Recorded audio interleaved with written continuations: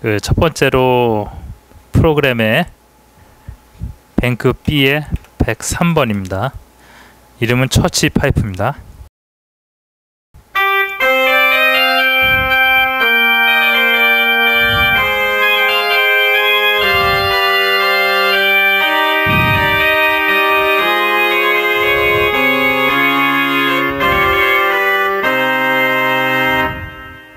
네, 파이프 계통 음색 중에 약간은 좀 어두운 톤인데 주로 이제 교회 음악에서 많이 들어보셨을 겁니다.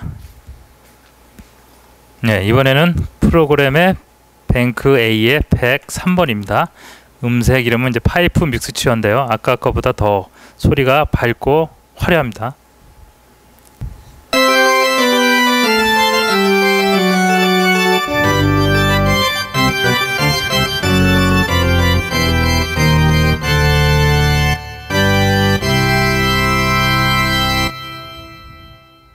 네, 음색을 들어보셨는데요. 뭐 이렇게 밝고 화려한 파이프 올겐 음색은 이제 주로 교회 음악에서 많이 씁니다. 그래서 이제 교회 음악에 많이 응용을 해서 연주해 보시면은 좋은 효과를 얻을 수 있을 겁니다. 예, 이번에는 그 일렉 올겐 계통을 한번 보겠습니다. 그 일렉 올겐은 주로 이제 하몬드의 B3 올겐을 중심으로 해서 변형된 소리들을 쭉 보여줄 텐데요. 그 먼저 그 프로그램의 뱅크 A의 71번을 선택해 보겠습니다. 음색 이름이 에디티브 올겐입니다.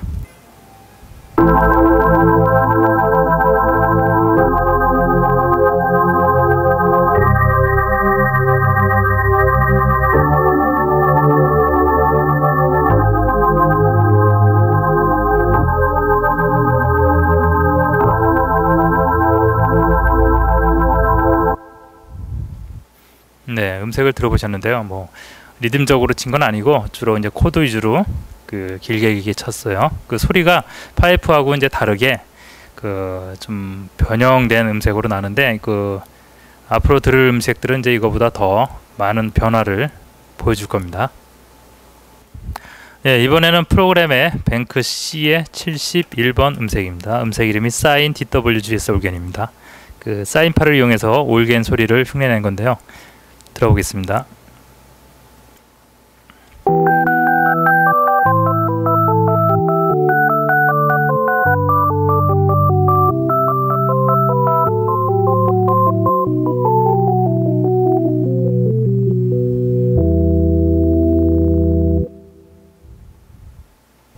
네, 음색을 들어보셨는데요. 그 약간 좀 서정적인 느낌의 그 음색으로 쓰면 좋겠네요. 예, 이번에는 좀 화려한 음색을 한번 골라보겠습니다. 그 프로그램의 bank B의 7번입니다. 음색 이름이 Full Drawbar입니다. 그 B3 올겐에서 그 drawbar를 전부 다 앞으로 잡아당겨서 놓은 상태를 소리를 내는 겁니다.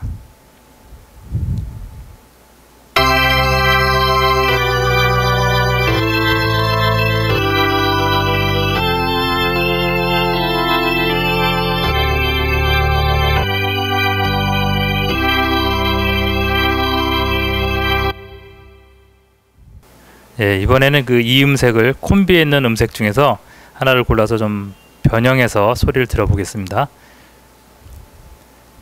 콤비의 뱅크 B의 31번입니다. 네, 음색 이름이 Registration인데요. 음색을 한번 들어볼게요.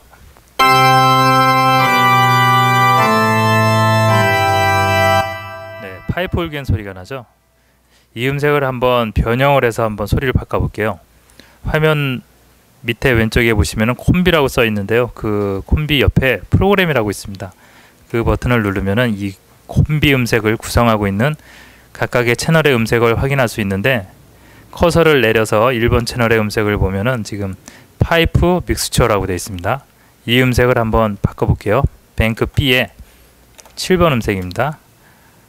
Full Drawbar로 바꿨는데요. 한번 소리를 들어볼게요.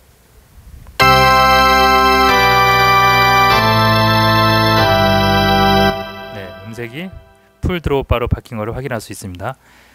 커서를 이용해서 옆에 채널을 확인해 보시면은 Piccolo, Flute, Flute Pad, Octave String, Analog String, 이런 오케스트라적인 사운드가 같이 채널마다 섞여 있는데요. 이 음색을 같이 듣기 위해서는 왼쪽에 알페지오 버튼을 눌러줍니다. 자, 그런 다음에 한번 연주를 해볼게요.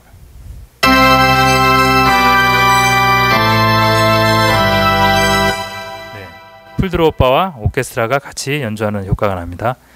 네, 이 음색을 한번 끝까지 연주해 보겠습니다.